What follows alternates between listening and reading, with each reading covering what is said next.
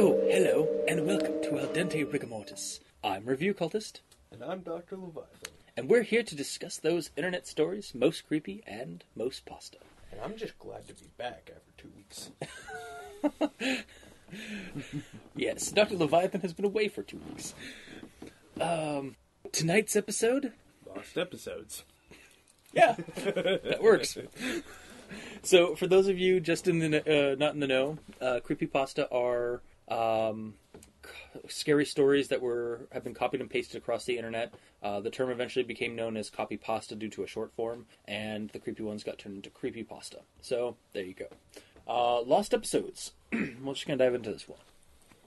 Uh, you can check it out. Oh, actually, before we do that, I guess you can check it out at creepypasta.wiki, and uh, Mr. Creepypasta on YouTube does a splendid job reading it. Uh, along, I guess, I believe it's on Slimebeast's actual channel, not on his channel. Uh, we'll leave descriptions in the comments in, or in the descriptor below uh, wherever this gets posted. So, Now, for, I mean, if you're listening to this, I'm assuming you know a fair bit about creepypastas and are aware of kind of a subgenre called Lost Episodes, which is lost episodes of TV shows like, I'm assuming there's a Simpsons. Cares Bears one, Chipmunks. SpongeBob. Home Improvement. I actually recently saw read one. So, and they're completely off the norm of the show. they're wrong like in horrible ways sometimes usually it's graphic mat- uh, material that shouldn't be in the show or uh, demonic presence in the sh- in the uh, video or in the videos just disturbing footage um, that you don't expect to see in an episode of your favorite cartoon or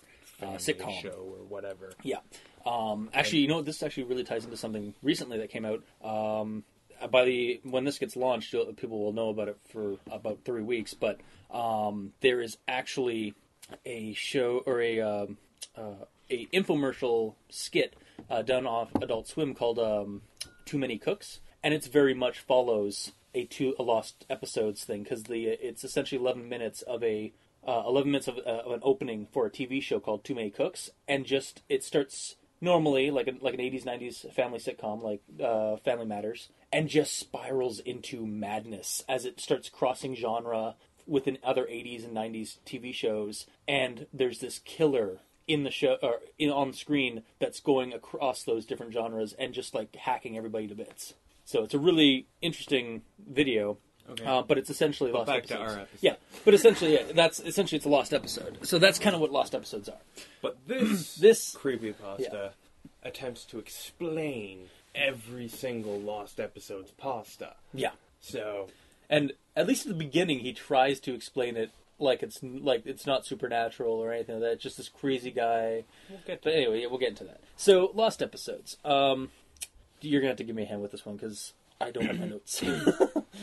Well, our our narrator, who as per the norm goes unnamed, uh, when he was a kid, he had a friend named Sid, and Sid's family was fairly well to do, so they had you know more toys and whatnot. And by toys, I mean in this Video case specifically, well, video editing equipment Yeah, in the first place yeah. because Because the there was no point in having software because there was no computer that did it Yeah.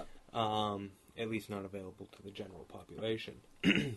and uh, this is going to be a brief as hell rundown. Um, but his first uh, endeavor is to fix Old Yeller so that it has a happy ending where the dog just Got gets better. better. from the rabies, as opposed to uh, the boy having to put him down and it being a real downer. but anywho, uh, Sid, uh, with the help of our narrator, starts doing more and more work on movies, TV shows, and the, and the like. Um, without, and eventually, st- he gets bent away from fixing the And- unhappy endings and starts doing weird shit, gross things. Um, you know, throwing in violence as opposed to editing it out. Yeah. Um, because he suddenly switches to like no that the happy endings are the lie and exactly. the violent and darker stuff is truth. and this and the whole thing just like this obsession takes over his life and he Yeah. basically you know stops doing anything else um, He never really did anything. I mean, like the guy, uh, the narrator explains that like because his parents were well-to-do, um, they let him just kind of roam around the house and not get a job or anything like that. While the narrator, as a kid, had to get a job and stuff. yes but But yeah, yeah, no, sorry. It's assumed that he well i mean it's implied that he spirals further and further into Yeah. his obsession as opposed to you know actually watching tv at any point he just fixes it Yeah, like he also starts um, going, and he also like I guess has like all with all his free time. He also starts doing this editing of these creepy post or these uh, lost episodes or these wrong or these like corrected videos, and then starts taking them to all these video stores across like I, I guess like wherever he can. Yeah basically Like he goes to like all these old like like out of the way ones, like normal ones. I guess I don't know wherever he can find a video store. that will basically take goes to video stores and switches the tapes Yeah. like finds you know a tape of the same thing he's got on him and switches them or just whatever Yeah, and then takes the new tape that he's got home and fixes that Mm-hmm. um, and uh, our narrator you know goes to visit him one day and he's all like just c- totally engrossed and Animating you know, doesn't something. care like barely And- even acknowledges the narrator's presence and, yeah. He's just glued to his uh, his writing. and drawing that's desk. when our narrator is just like all right well i'm fucking done with sid Yeah, exactly. Um, and and yeah, just departs because he doesn't he doesn't know how to handle this right now. So and then years later like uh, i think he's in his 30s or something thirties. uh, he goes, he's, you know, wondering, so he calls up the number. The number's no longer in existence, so he goes by the house, and the house is just, it's decrepit, and there's a foreclosure notice on the front door.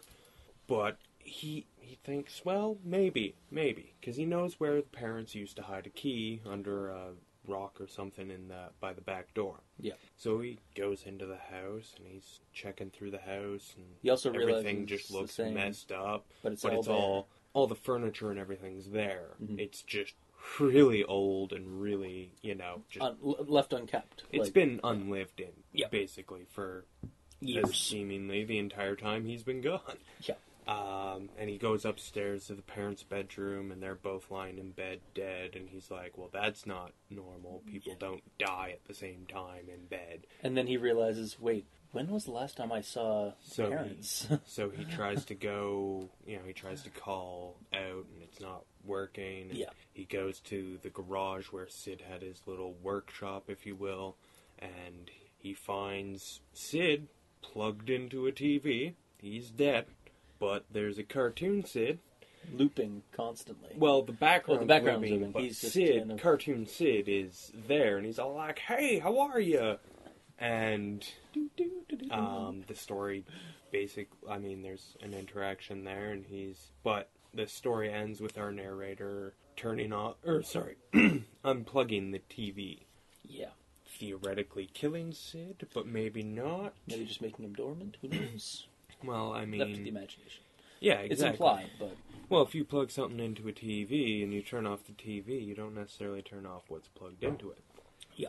But that's all speculation and hearsay. It's I like the way it ended, Mhm. you know, with the ambiguity because it leaves the door open for either the author of this one or some other author to do another like to do another pasta featuring Sid. yeah, like he's back. He's still there. He's he's gone into the network. Exactly. Well, he's become syndicated. or or someone else, you know, plugs Turns in on. the TV. yeah, you know, and it, it could have. I mean, okay, yeah. Like somebody finds this. with oh, what it is, with with the science that doesn't exist but exists in this story, where he's hooked himself up to a TV, I see no reason why he couldn't be found and restored. Yeah.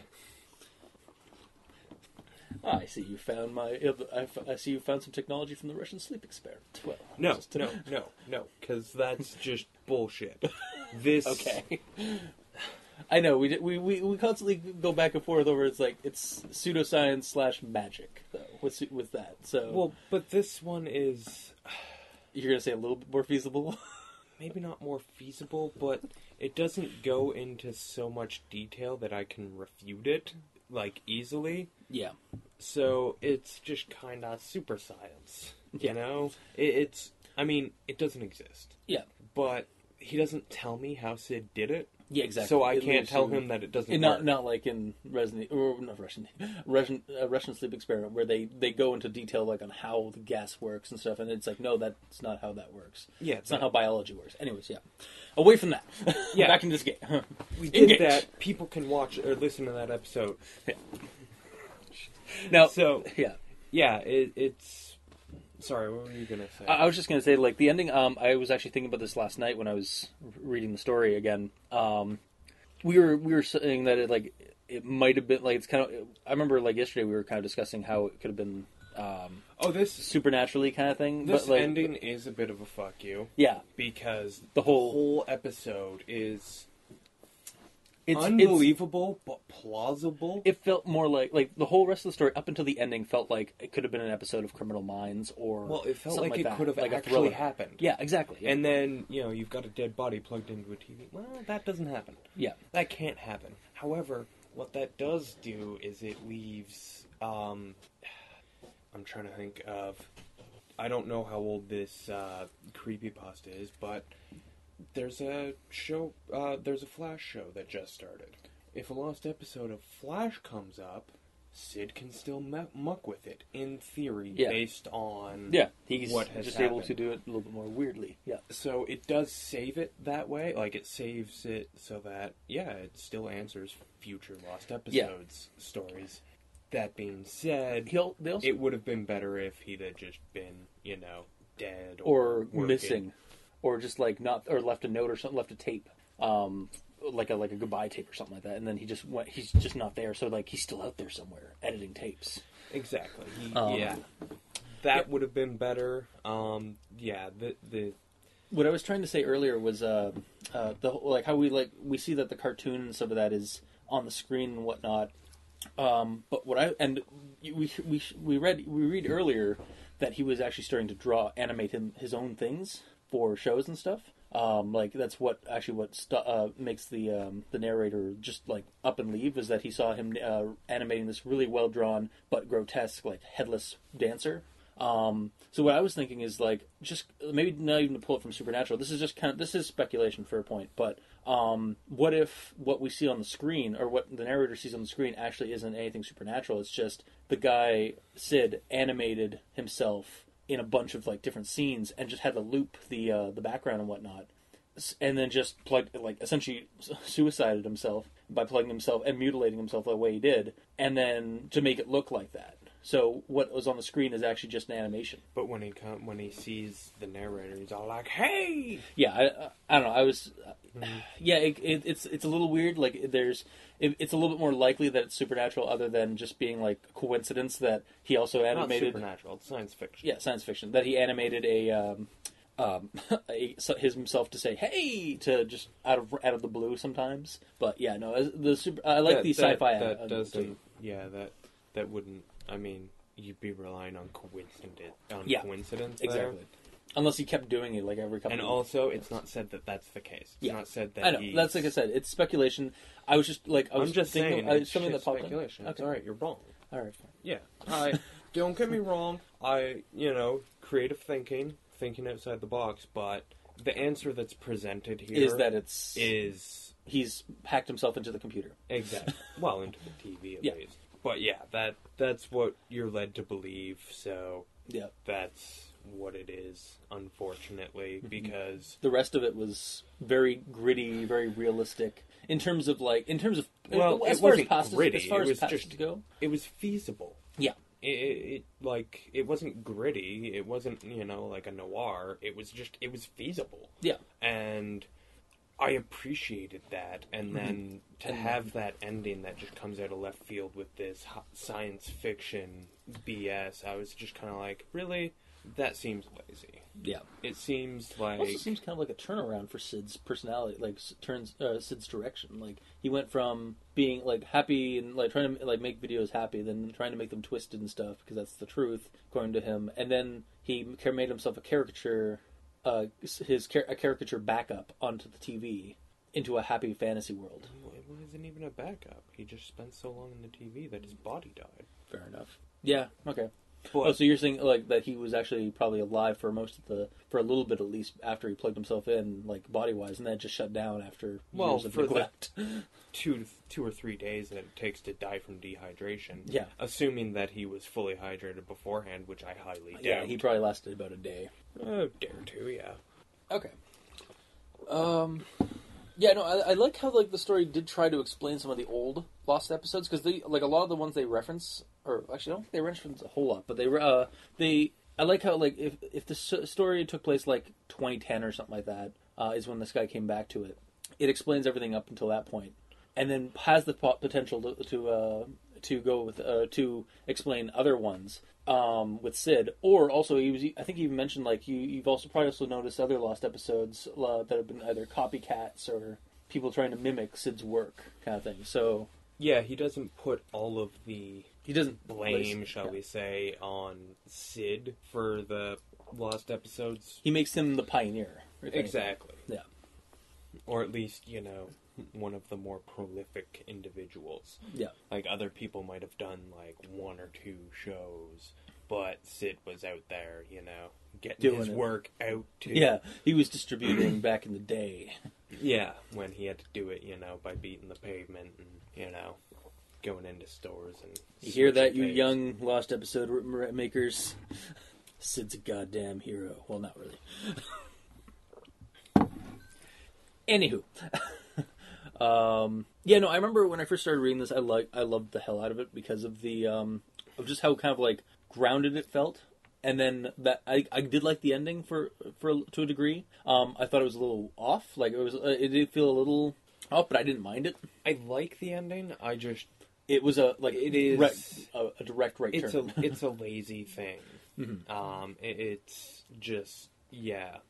Especially It's after at the throwing beginning in the sci-fi for no reason, and that was just kind of especially at the beginning where he mentions like I know you guys think that like you, if you guys believe that these things are haunted or there's something supernatural or something or something weird afoot there, um, you may not want to read any further because this I'm about to blow this whole story out of the wa- truth out of the water, and then you end it with a with a fantastical um, Yeah. ending or like or, or like thing. It's like yeah. It's so it, it tried really well for up until the ending to be a grounded like this is actually what how who was creating lost episodes back in the day. Yeah, no, no, it, it, Yeah. it was good for that, and like, I like I say, I appreciate the ending for what it is.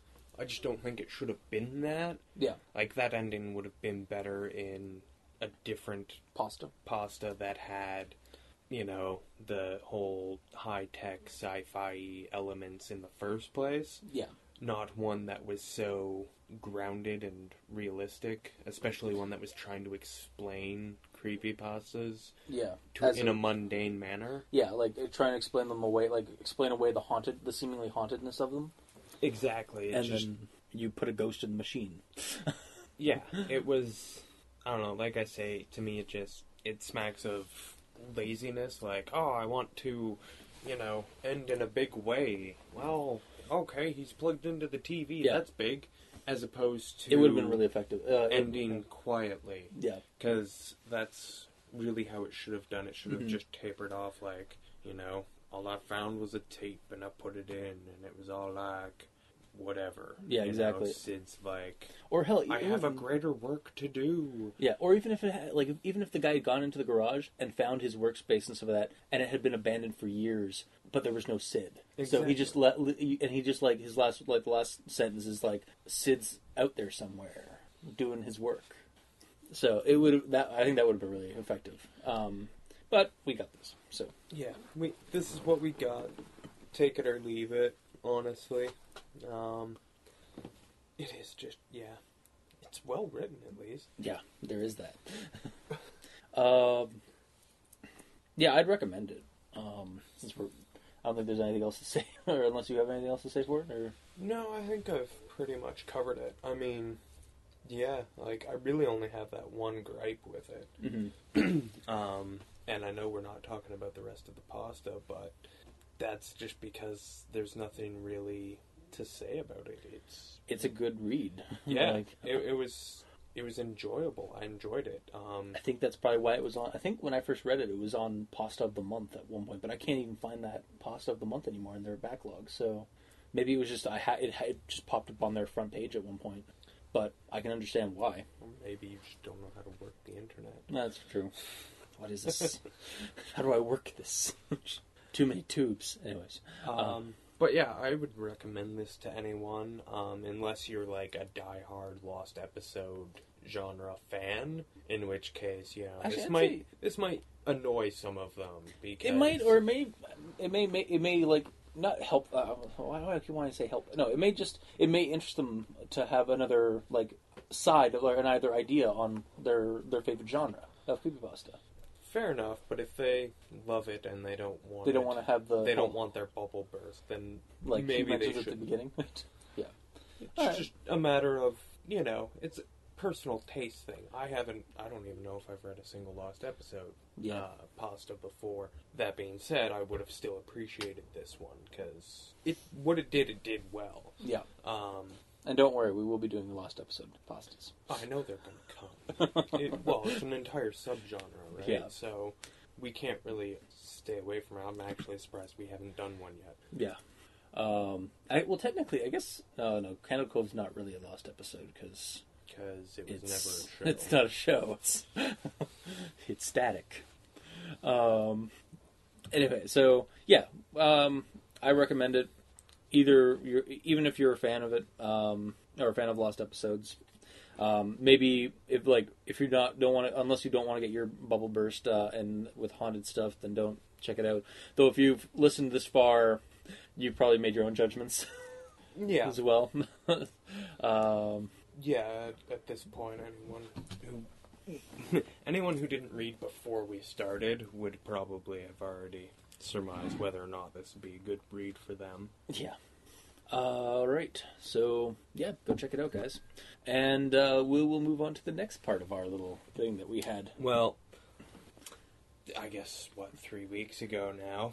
Yeah. Uh, I had my little rant and uh, about you know people wanting to pick fights when things are said without malice, Mhm. things that We're just mentioned like things that were mentioned to explain um not even to explain, just Well, just- suggested yeah just to like to show help you understand what what something or someone is like like um in particular the last one i mentioned was you know oh i couldn't tell which one was which if the father was the mother or the mother was the father because They're of the whole body body mod Yeah.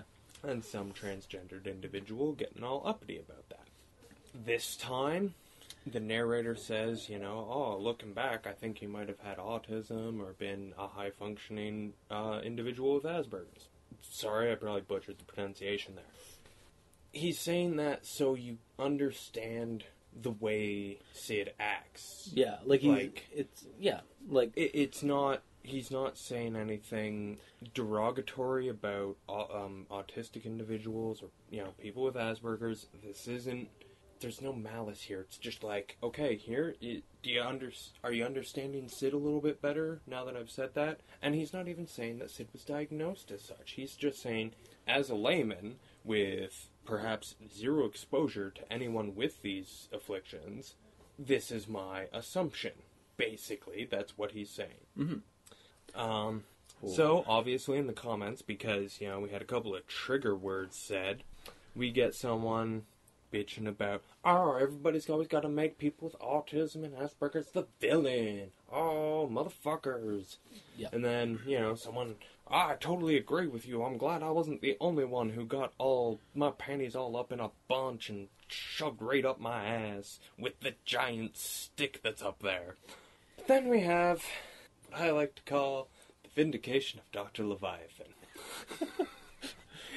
we have someone defending the author, and I approved of this so very much, who basically states my point. Yeah. So, whoever that commenter is, I appreciate the fact that I'm not the only one without my head up my ass. Mm-hmm.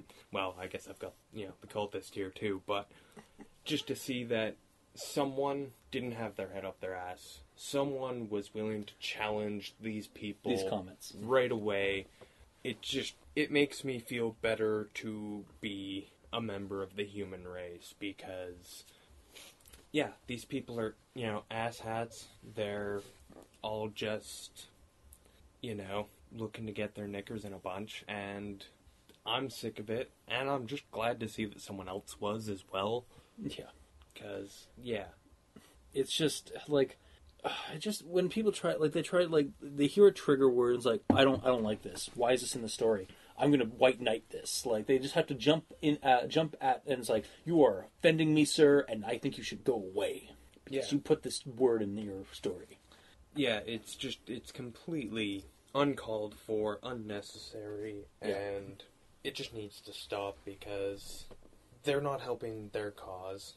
They're not And he doesn't even like again. they're not attacking something that needs to be attacked. Yeah, and again, in context to the story, like the guy like right like quotes the the friggin' word, the sentence, but doesn't go further. Uh, doesn't quote the further part where he's like, I don't know. That's just like it's just like maybe that was like that. I don't. I'm not saying it is. I'm just it's. He was just speculating, like like he was just like it was like kind of like the top of his head kind of thing that he thought of, Yeah. and it's like nothing like like mean or hateful at all. It's just in hindsight, he sh- this guy this man this guy should have gotten some help or something. Exactly. That's Which was obviously being what ignored. it's saying. And I'd like to point out that the story proves that in whatever way, for whatever was afflicting him, because he was not, He was obsessive, and he he needed something- mental yeah. help. yeah, Um, because it's not flat out stated, but I'd say it's pretty heavily implied that he murdered his parents. yeah. Like if he'd gotten the help that he needed, he probably wouldn't have done that. Mm-hmm. And, you know, like, I'm not saying that whatever was wrong with, well, yeah, it, it's, I'm not saying that Sid was autistic or whatever, because, you know what? It's never stated in the Yeah. story, so I can't It's know just- as a reader. yeah, the the narrator as a person Speculates. speculates. That's it. and that's fine. But you know, Sid obviously needed help. Yeah. He was, you know, somewhere in his brain there were probably more than a couple of wires that weren't hooked up the way they should be. You know, he did need help, and yeah, just the fact that someone read into a completely innocent line um, and just went, you know, completely, you know, off the rail. crusader for it. Um, it's just it's depressing, Mhm. honestly, to me as an individual, because, like I say, you're not helping your cause. You're getting Um, attention, but there you're are walking the right people. there are people who genuinely don't have any sympathy or understanding for um, people with autism and the Yeah. like, and. You know what? Those people don't necessarily need to be attacked, but they need to be educated. They need to be corrected Yeah. this guy didn't need that. No, he was. He like Yeah, like it's maybe the writer does as an individual because we're honestly not given a window to No, his opinion. yeah. We're At just all. given a narrator So the story. Yeah. you know that may be the case, but considering the fact that it was in there without any malice or anything, I'd say probably not. But again, that's speculation. But there are people who do need to, you know, be slapped upside the head and say, you know what, you know, these are people too. Yeah. Exactly. But this guy isn't one, and for people to direct their energies towards someone who doesn't need that, It's just foolhardy and it's a waste of your silly. energies. Yeah. And it's a waste of your time, and all it does is damage your cause because, first off, just reacting like that in the first place Yeah. just makes people want to write you off as, you know, some sort of. Exactly, a fanatic. And fanatics are never good spokesmen. Exactly. um, you know, reasonable people who can calm down, be reasonable, and look at both sides. Those make your best spokesman because they can understand where other people are coming from. Yeah. And you know what? I'm probably not the best for that because of my tirade last time I was here, but you know what? It, it's I don't know. It's It- just sad when you when we when you're going through the comments of something of a story that you we actually like enjoyed, and then somebody brings th- something like that up, and it's like, really, Yeah, it's just there's there's no need for it. Yeah. It it you're just trying to get attention on uh, the wrong way, especially the way he wrote it. Like, I know we met, I know we read the last one, like the from the last episode or from the last story, but this one is just like. You really didn't need to go with what you did. Like you really didn't need to. Like I'm not. I don't want you want to vindicate him by or him or her by reading what they wrote. And um, I'm just leaving it at. Va- we're just leaving it vague. yeah. Um, but yeah, there's no reason for you to write like that, that kind of a comment. It's just, uh, I mean, it's a sad fact about the internet that because you're anonymous, you can write anything you goddamn well please. But yeah, at the same just time, because you can say anything you want and no one will know it was you who said it, doesn't mean that You're help- shouldn't yeah. say anything of substance. yeah, Like, you know what? If he, if the author was like, "Fuck, man, Sid was totally autistic. He fucking, that's why he did all this. That's Yeah, why exactly. he murdered his parents. Fucking autistic people need to be put down." If he that, said that, would yeah. I you know would, what? Would be I would be right there in the comments saying, you know what? I denounce thee as a moron. Yeah. And as an ignorant motherfucker. yeah, but that's not what we got. But that wasn't the case, and yet someone is denouncing him. As if it, he did that, and he didn't. So, But, yeah. that being said, we got our other commenter who's which like, totally you know what? Yeah, Suck a dick, because not to be an asshole, but not to be an asshole, You're but uh, you're an asshole. yeah, And uh, to the anonymous commenter there, because I don't have a name here, yeah. thank you. We Um, salute you. I don't know if you're listening, but I really hope you are because you did something good. And I hope you know that. Yeah. All right. Um, yeah, I think I think that's it for this week. Because uh, again, check out the pasta. Um, lost episodes. It actually took me a couple mo- uh, weeks to uh, to find it again. Um, so I'm glad I did. Uh, you can check it out at creepypasta.wiki, as I said. And uh, Took you a couple of weeks. It Took me like five minutes. well, when I first, when uh, actually, like initially, like uh, when I was like trying to remember this episode because I read it like months ago, and I was like, oh yeah, we should do this for an episode, and then I was looking through it. Anyways, um, And you couldn't find it because you couldn't remember what was the name I of thought the it was- pasta I that actually- I actually- explains lost stories. I actually thought it was Lost Tapes. but anyway, um, you can also check out. Uh, I'm not sure if Mr. Creepypasta has it on his channel or if it's on Smi- uh, Slimebeast, who, by the way, is the the writer of this great of the story. oh, fair Um, enough. And he actually has a channel, and he had Mr. Creepypasta read it f- or uh, for his channel. So uh, we will leave a just uh, a little thing on the descriptor for you, like a link. Um, yeah, go check it out. It's a good story. It's um, a nice, yeah, it's a nice tale. Um, so if you now, obviously, if you don't share our opinion, or if you do share our opinion and would like to get a hold of us, we are both on Twitter. I'm on Review Cultist, and Dr. Leviathan is at Dr. Leviathan. Um, we are on YouTube and iTunes, so leave comments in the YouTube section and uh, send us a review. We could really, eh, it'd be really cool to, of you if you had uh, if you left us a review of how we're doing on the show. And uh, you can also send us uh, an email at aldenterigamortis at gmail.com. That's A L D E N T E R I G A M O R T I S at gmail.com, where you can also send us suggestions for other creepypastas you'd like to uh, have us discuss on the show, like maybe some lost episodes. Um, I think we might do Dead Bart. It might be one of the ones that we do soon. But um, so until next time, I have been your host, Review Cultist, And as always, I'm Dr. Leviathan. and this has been Al Dente Rigamortis. Sleep well.